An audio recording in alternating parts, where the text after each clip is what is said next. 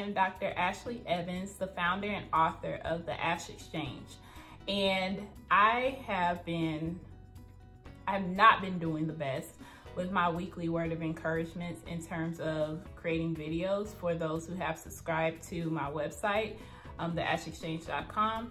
But um, recently, this past week, um, the Lord has just have, had me meditating on his word. And so I was like, okay, let me hop on and share. So um, this should not be that long, but you never know because you know I get excited with the word of God. So um, first off, I really want to talk about how it has been very tiring for a lot of people lately, um, especially believers who desire to live for Christ wholeheartedly, who desire to obey him, who desire to walk in his teachings, and they have not seen the reaping of the good things, the good seeds that they've been sowing. And so um, God sent me to Galatians 6 9. I've been meditating on that where it says, Let us not get tired of doing good, for we will reap at the proper time if we don't give up. And so, even in meditating on that scripture, I was also thinking about, okay, well, Lord, what will we reap? Um, I had a conversation over with a few people. You know, lately, a lot of people just have been dreaming, um, thinking back to the promises that God has, has told them, thinking back to things that God has put on their heart to create. And a lot of people have just grown tired. And so in that, you know, I was just, you know me, I just listened to the Lord, um, play my worship music, and um, I heard the words blessing. And so I went to Kari Jobe. She has a song that she did with her husband at Elevation um, Ballantyne campus. And the song was called The Blessing. And when I was listening to it, I was like, wow, God, this song is so powerful. And it really rejuvenated my spirit because a lot of times we, well, a lot of times people try to separate Old Testament New Testament, you know, as if when Jesus came, it canceled everything that happened in the Old Testament, which is not true. Um, God is so gracious that, you know, the covenant that he made with us in the New Testament adds on to the blessings that he promised. And that by us being children of God, if we've recommitted our lives to Christ, we too can inherit the blessings. And so, um, even with that, I was listening and I like to know the scripture associated with the song.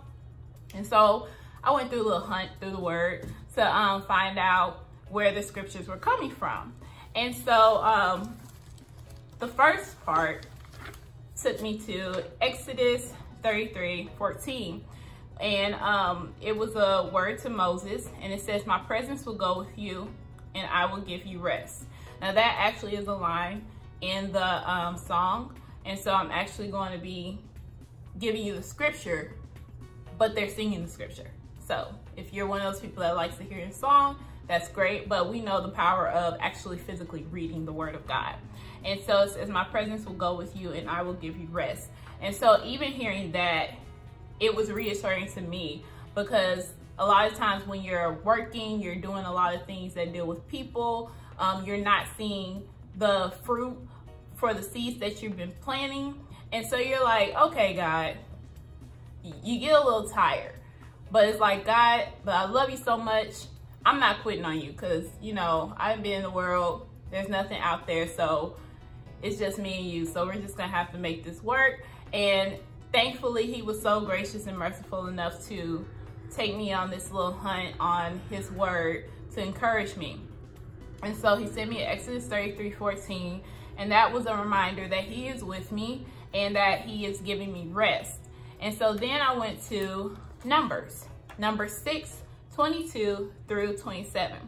And it says, The Lord spoke to Moses, Tell Aaron and his sons, this is how you are to bless the Israelites. You should say to them, May the Lord bless you and protect you. May the Lord make his face shine on you and be gracious to you.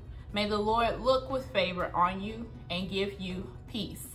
Now, in both cases, these are blessings from the Lord. Um, and although it was said to the Israelites, once again, as a child of God, we also receive these blessings. And so in that, I was just like, okay, God, you are protecting me because I work in education. And so there's a lot of stuff that takes place in education that um, most believers don't necessarily care to deal with. But I also recognize that God's strategic and he knows that he has properly placed me there. So therefore, there are things that have to be done that don't always feel good, okay? So, needless to say, God covers me, he protects me. Um, there are a lot of things that happen that I see left and right, but um, it's amazing how he covers his own in the midst of darkness and when the enemy is attempting to throw a lot of attacks at, on people. Um, he is gracious to me. And honestly, receiving his grace, knowing that he's gracious to me, that is everything because I don't always have the right attitude. I don't always, I'm not walking around on 10, jolly, like, yay, praise the Lord. Sometimes I'm like, I just want to be home, Lord. And um, God is like, let me show you some grace so that way you can um, overcome this. And that way you can stop murmuring, stop complaining. Um, and then he shows mercy because he does not give me the consequences that I deserve when I do murmur and complain. Um, and then says, may the Lord look with favor on you and give you peace. Now, um, favor is something that we don't deserve. And it's something that we really, we can't do anything for. Like, that's just a component of being a child of God and understanding that he loves us so much that he desires to pour his favor upon us. And the simple fact that he does that reminds me, calm down. Don't feel like a don't feel like you're defeated because something is not showing up the way that you thought it would show up. And then when it says give you peace, I'm all about peace. I'm all about protecting my peace. So I thank God for peace because ultimately receiving his peace is everything in this season specifically. Um, because like I said before, when you're in certain environments, it is very easy to be frustrated, upset, and to begin to feel defeated. But thank God he allows me to have peace in the midst of the chaos to where I can keep going and keep moving forward to complete the task that he has for me. Now, the bulk of the song, The Blessing, came from Deuteronomy 28, 1 through 14. And I'm going to read through it might pause and break down a few scriptures. Um, because honestly, this part, you know, I'm not overly emotional, but when it comes to worship, look, you will get some tears out of me. And when I read this, I was just like, thank you, God. Thank you. Because you didn't have to do this. And the, the simple fact that he he chooses to bless those who obey him, like, it's, it, it's amazing. It just, it took me back to Galatians 6, 9 to remind me that to not grow weary, to keep pushing, to keep persevering, to not give up, to not be deceived by what I don't see, okay? So um, starting at verse 1, it says, Now if you faithfully obey the Lord your God and are careful to follow all his commands, I am giving you today, the Lord your God will put you far above all the nations of the earth. All these blessings will come and overtake you because you obey the Lord your God. You will be blessed in the city and blessed in the country. Your offspring will be blessed, and your land's produce, and the offspring of your livestock, including the young of your herds, and the newborn of your flocks. Your basket and kneading bowl will be blessed. You will be blessed when you come in and blessed when you go out. The Lord will cause the enemies who rise up against you to be defeated before you. They will march out against you from one direction, but flee from you in seven directions. The Lord will grant you a blessing on your barns and on everything you do. He will bless you in the land the Lord your God is giving you. The Lord will establish you as his holy people, as he swore to you, if you obey the commands of the Lord your God and walk in his ways. Then all the peoples of the earth will see that you bear the Lord's name, and they will stand in awe of you. The Lord will make you prosper abundantly with offspring, the offspring of your livestock, and your land's produce in the land the Lord swore to your fathers to give you. The Lord will open for you his abundant storehouse, the sky, to give your land rain in its season, and to bless all the work of your hands. You will lend to many nations, but you will not borrow. The Lord will make you the head and not the tail. You will only move upward and never downward if you listen to the Lord your God's commands I am giving you today and, and are careful to follow them. Do not turn aside to the right or the left from all the things I am commanding you today, and do not follow other gods to worship them. Now, yes, this comes with stipulations to honor and obey God and to not worship any other gods. And I know that is an area that is defeating a lot of believers today. A lot of people are being drawn away, but I just want to encourage those believers who are being faithful to God. Please do not give up. Keep pressing, keep persevering, and keep moving towards what God has for you. I recognize that right now we don't see everything taking place. We don't see a lot of the fruit for the for the seeds that we're sowing, for the labor that we're putting in. But meditating on these scriptures really did challenge me to think less about the end result and more about what God said will come up come from it. And when I say that, I mean a lot of times we do things and we want a now reaction, we want a now response, we want a now end result. And that's not always going to be the case. And so with that, I I position myself to say, okay, God, I may not see this now, but I'm going to trust in what you said about me being obedient and doing what you asked me to do. I'm going to trust that there will be good fruit, many blessings that will be birthed from this. And even looking at this, I mean, it's so, it's, it's such a legacy minded blessing because when you think about it, we don't live for our, for ourselves. We live for future generations. We live for what God has already planned. Like we're really just catching up to what God has already planned. And so the simple fact that, you know, he's blessing not just me, he's blessing my children. He's blessing my children's children. He's blessing anything that I touch. He's protecting me from my enemies. He's showing me favor. Um, he's blessing things that I will own in the future. He's blessing everything that he has designated for me to receive out of being obedient to him. And so going back to Galatians 6, 9, I want you to be encouraged to not grow weary in well doing. And I need you to recognize that being for Christ, living for Christ is not easy.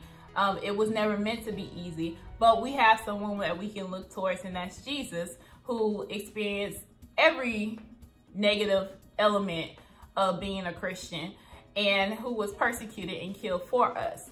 And so knowing that he did that for us shows me that, you know, I can overcome this. He went through this and he had he gives us the strength, he gives us the grace, he gives us the mercy, he gives us the um he gives us the instruction on how to overcome these things.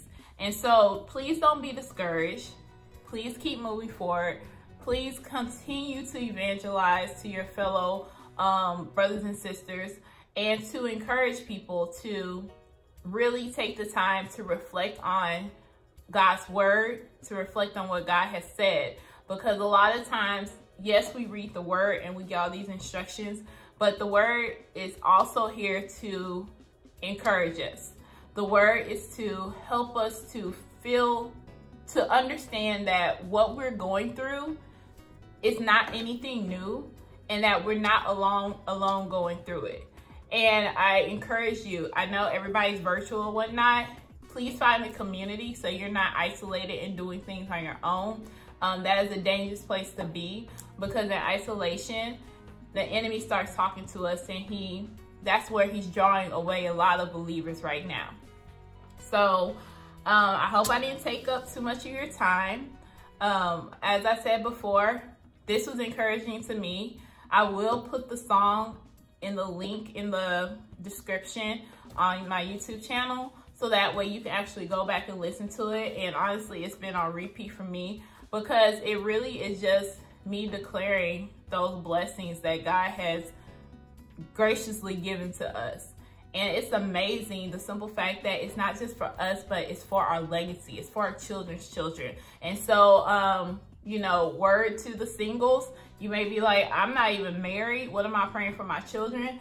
Look, if you desire to be married, you need to, and you desire to have children, whether adopted or coming from your womb, you need to be praying in advance because God is very intentional. You and your spouse, that's not just for, you know, the butterflies and stuff. God knows exactly what he needs to be birthed from you. And so please begin to pray. Begin to speak these blessings over your womb, over your future children, over their children, because the reality is God is strategic and he knows he knows how powerful he has created us to be and he knows that he is going to utilize us our children our children's children to do some phenomenal things for the kingdom. So yes that's my word of encouragement um it, i know it's a little bit longer than i expected but please if you have questions if you have prayer requests if you have comments if you want to um expound upon this and you just if you just have a praise report, um, please share. All right. Um, you know, I'm not overly formal or whatnot with these videos, but um, ultimately I do pray that they bless you and that you feel strengthened. And normally I do pray at the end, but honestly, if you read these scriptures, that is the prayer. If you meditate on that song, that is the prayer that I am praying over you because I just recognize how powerful it is declaring those blessings over our lives. And it just reminded me just how loving our Father is and how much He cares for us and how much He desires to do for us. Okay? So please share this with someone else who may be having a hard time, even if they're not. Just share it with them so it can be a friendly reminder of um, the blessings that God has in store for us. All right, so be blessed have an amazing week. I probably will make another video, um, maybe for Thanksgiving. I don't know. But um, I, I move as the Holy Spirit leads me to. So God bless you all. Please enjoy yourselves. If you are on break, enjoy it. If you're not, please be gracious and show gratitude as leading up to Thanksgiving because there's a lot we have to be thankful for, especially for those of us especially for us who are alive. I mean, that's just the reality. Everyone did not is, is not going to make it out of 2020. Um, so for those of us who are alive, thank God for life. Thank God for protecting us. For those of us who have shelter, for those of us who have food, who those of us who can pay our bills, who have family members that are healthy, just thank God. There's always something to be grateful for. And um, gratitude, honestly, is the way to be in this season. And it will encourage you to show thanks to someone else. All right. So God bless you all. Bye.